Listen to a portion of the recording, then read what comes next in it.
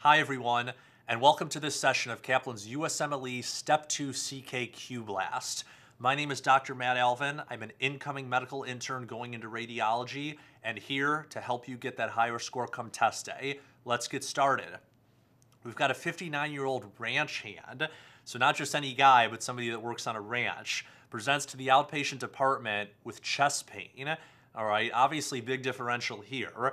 Over the past eight months, so not just a few days or a few weeks, but eight months, he's noticed a dull central chest pain that radiates to his left arm and jaw while walking. The pain subsides after about two minutes of rest, quickly returns upon walking again. So he's just got this pain. He's been dealing with it for eight months, and now he decides to present today. So this isn't something emergent where he comes in and says, Oh my gosh, doctor, I have tons of chest pain. This is some guy that's saying he's had it for eight months. It's severely affecting his work. He's concerned he's going to lose his job because of the poor productivity. So that's why he's coming in to see you. So then we have more stuff. Again, a longer question, but don't be intimidated by it. Remember, your goal is to pick out these little things that I've bolded to make sure that you're able to focus on just what's important. So it says his vital signs are temperature looks normal, 37, pulse looks normal, 74, blood pressure, 135 over 82.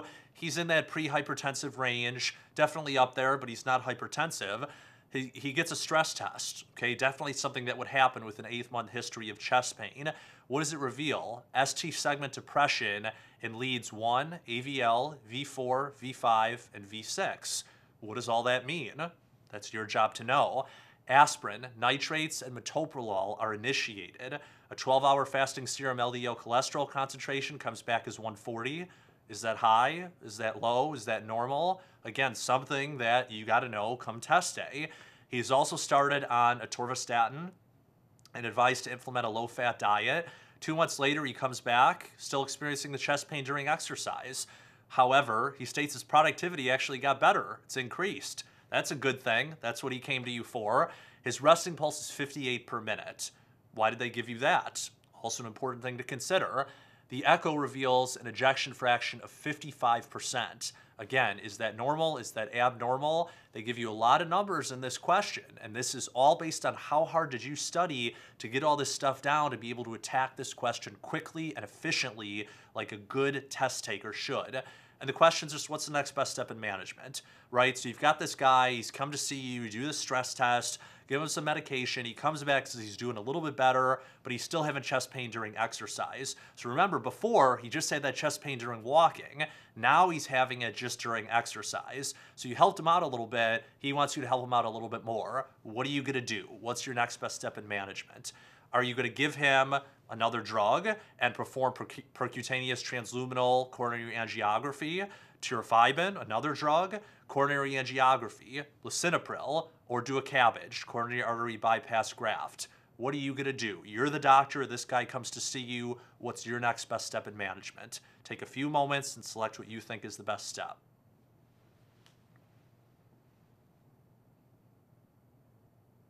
Okay, great.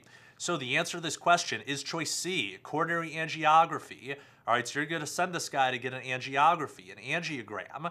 All right, so number one, what does this guy have? He's got stable angina. That should have jumped out to you. Eight months having this chest pain, those ST depressions on the stress test, that indicates we've got stable angina going on here. Chest pain that happens doing some sort of exertion, first walking, then exercise.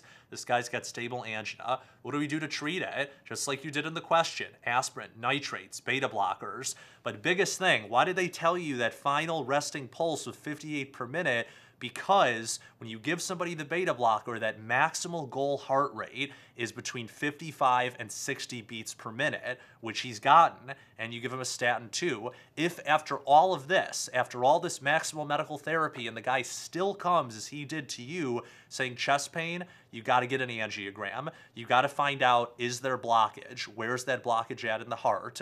What the angiogram does is it maps out those diseased vessels and dictates what you're going to do for this guy. You're going to give him an angioplasty, you're going to put a stent in. That's why you get the angiogram. If it shows left main coronary disease, two or three vessel disease, you're going to be a CABG for, you're going to be a candidate for a CABG. Again, differences between a CABG or just putting in a stent or angioplasty, stuff to know.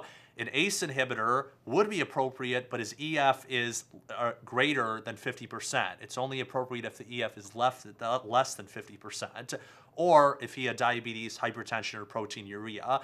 A lot of different criteria to take from this question. Keep all this stuff straight as you evaluate these cardiac patients. A recap for this question. You're there, you're the doctor, you institute maximal pharmacologic therapy, so the nitrates, the beta blocker, the statin, the aspirin, you get that heart rate to the goal of 55 to 60 beats per minute. The guy still comes in with symptoms. Next step is perform the coronary angiography. The extent of his coronary disease, that blockage, is going to dictate whether you're going to do an angioplasty, put a stent in, or do a CABG. Which one is indicated? That's your goal come test day. Great job on this question for Kaplan's USMLE Step 2 CK Qblast. I'm Dr. Matt Alvin. Happy to be with you here on your journey to get that higher score on test day.